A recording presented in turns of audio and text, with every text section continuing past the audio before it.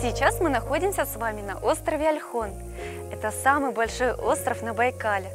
И в этом эпизоде мы расскажем и покажем вам одного из самых редких животных, которые обитают в этой местности – монгольскую жабу.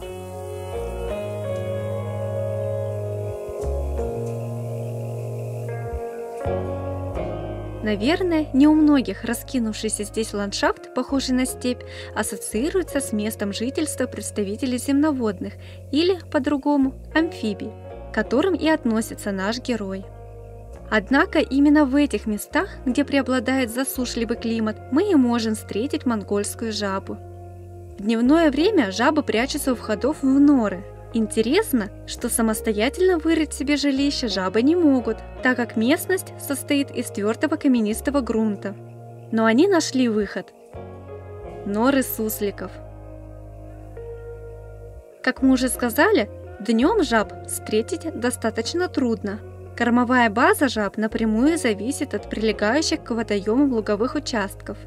Они обеспечивают пищей множество беспозвоночных – а те, в свою очередь, служат пищей для самих жаб. С наступлением сумерек и в первой половине ночи можно встретить жаб, которые вышли на охоту. Без дополнительного освещения здесь не обойтись.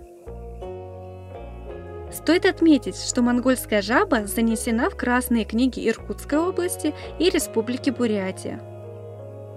Поскольку жабы на острове Альхон крайне малочисленны, а места их обитания подвергаются большой антропогенной нагрузке со стороны отдыхающих, специалисты заповедного Прибайкалья ежегодно проводят учет численности этих животных. Многолетний мониторинг позволяет следить за состоянием популяции амфибий. Для этого на определенном и ограниченном участке подсчитывают численность всех найденных жаб – Затем всех пойманных животных измеряют и взвешивают. После этого их отпускают обратно вести свою обычную жабью жизнь. На этом команда проекта «Байкальские зарисовки» прощается с вами. До скорых встреч!